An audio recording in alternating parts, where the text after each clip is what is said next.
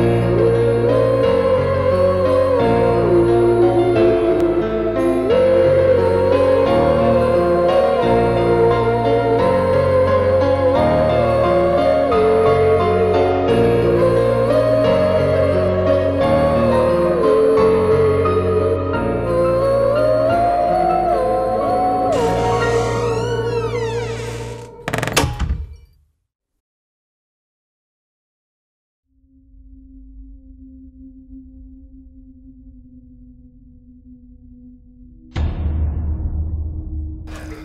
สวัสดีครับนะฮะวันนี้ก็มีเรื่อง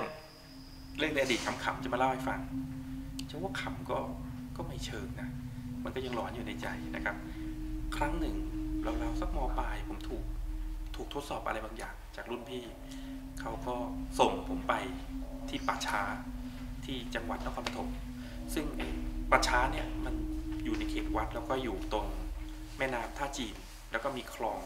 นะครับ ซึ่ง มีต้นมะพร้าว มีต้น ต้นยางนานะครับมีต้นยางนาสูงทะมึน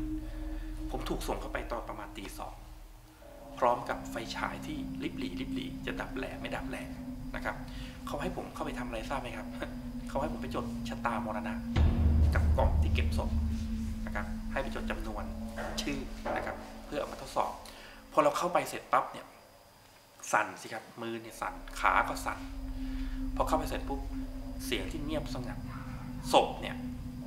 ในในในศพเนี่ยมันก็แปลกกลางคืนเนี่ยมันชอบขึ้นอืดกลางคืน มันก็จะมีเสียงดังฟุใจคอนี่หายไปอยู่ที่ตะตุ่มเลย ตกไปที่ท้อง สักพักหนึ่งเนี่ยนะครับ นกแสกมันก็ร้องแสกใจนี่หายวาบเลย กลัวก็กลัวนะครับ ไม่นานนะครับ ในความเงียบระหว่างที่จดจด เสียงมะพร้าวลมมันมากระทบกายพอกระทบกายเสร็จปุ๊บไอ้มะพร้าวเนี่ยมันก็ตกกลางคืนมันตกตั้งตับใจเนี่ยตกไปอยู่ที่ตะตุ่มเลยนะครับวันนั้นน่ะกลัวจริง ๆ กลัวมากๆ แล้วไฟฉายก็ลิบหลีมากนะครับ กลัวจนจนเลยจุดกลัว จนเดี๋ยวนี้เลยไม่รู้ว่ากลัวมันเป็นยังไง คือมันเลยจุดกลัวไปแล้วนะครับ ก็ลองมาดูกันนะครับ ก็ลองสู้กับความกลัวกันดู เชิญครับ